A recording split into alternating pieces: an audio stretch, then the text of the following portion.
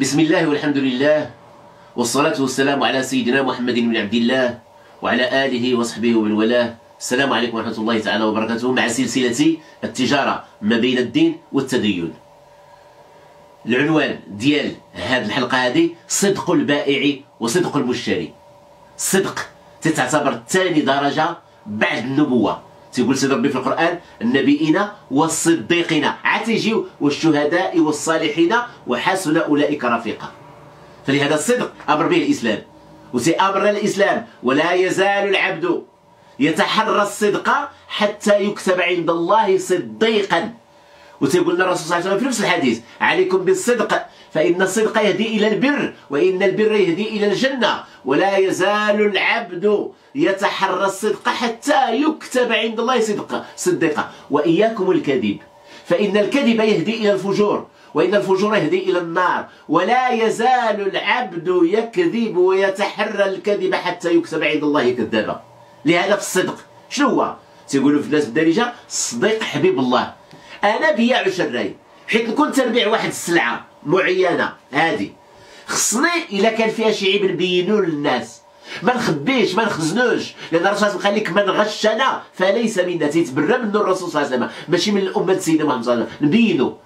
والأجر عند سيد ربي سبحانه وتعالى نبينو.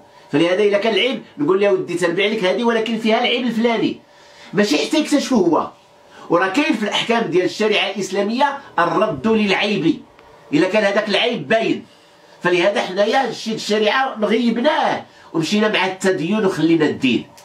ثم بالنسبة ليا أنا للشاري تيخصني نعرف هذاك السيد إلا كان ما فراسوش الثمن ولا ما عارفش وقال شي ثمن اللي ماشي هو هذاك نفقهو نقول له ودي هادشي من الثمن اللي هذاك الشيء واش ما فراسكش أشوف السوق راه السلعة راه تزاد.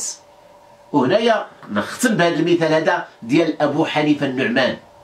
كان تيبيع ثوب من الاثواب وجات عنده واحد المرأة الصدق ما بين الشاري وما بين البائع. قالت لي شحال داك الكوبون؟ شحال داك التفصيلة؟ قال لي قدا وقدا قالت لي رخيصة. حنا دابا لا ما عندناش رخيص واخا يقول لك رخيصة بغيو نتساووا على الرخا قالت لي رخيصة. قال لي لا. عرفت أنا باش رخيصة ولكن كان عندي جوج ديال التواب. واحد ربح ربحت فيه. واحد الله يجعل البركة أقنعت. ففهمت هي وشراته شوف الصدق الصدق. هذا الصدق هذا تنقولوا علاش البركة مشات من التجارة؟ علاش ولاو عندنا الديور ولا عندنا كذا والأموال وكذا كذا؟